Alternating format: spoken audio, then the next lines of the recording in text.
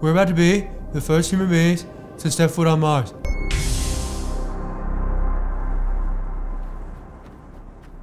What? Ha ha! That's right, motherfucker! David Goggins! What a savage! How did you beat us here? I ran 34 million miles in negative 127 degrees with no shirt on! And I ain't done yet, baby! Goggins, where are you going? Jupiter! I'll see you there, motherfucker!